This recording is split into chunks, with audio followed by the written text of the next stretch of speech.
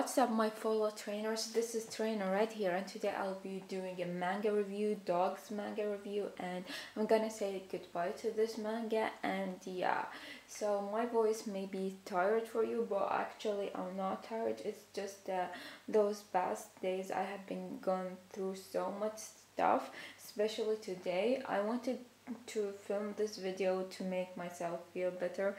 So if my voice sound different this is why so anyways uh, this will probably be a short video because I'm not good with reviewing but yeah.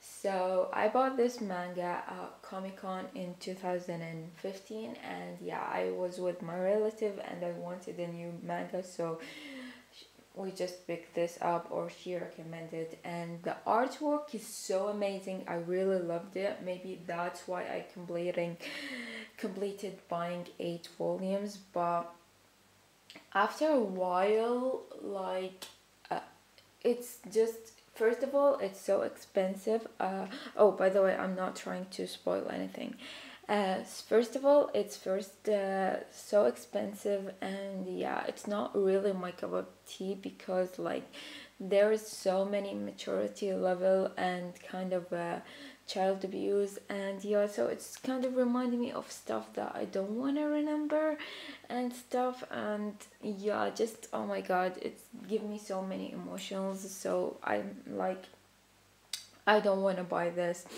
And yeah also volume zero like when i saw it i was like no no no no no. I just can't because like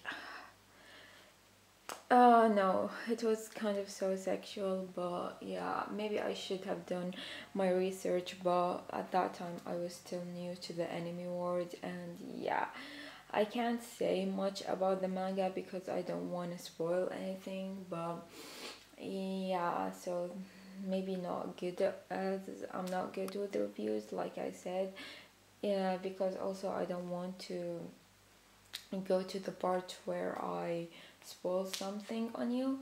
I don't think I'll be giving this manga to someone even though normally I don't burn my mangas but I never even done that. I, normally I just give it to someone or I just keep it. But this manga oh my god the violent the kids abuse I can't I can't. It's just uh, this is why I have to say goodbye to it. So yeah i'm not sure if this was helpful but that's all i'm gonna say about it. And uh, sorry if i sound different again. I hope you like this video and uh, tell me do you ever read uh, dog manga? And um, what manga that you don't want in your collection anymore and share this video with a friend. And if you truly truly truly enjoy watching my video even though i doubt that because it was not helpful at all give it a thumbs up. If not please don't. And bye guys. Love ya. Hopefully in my next video i will be better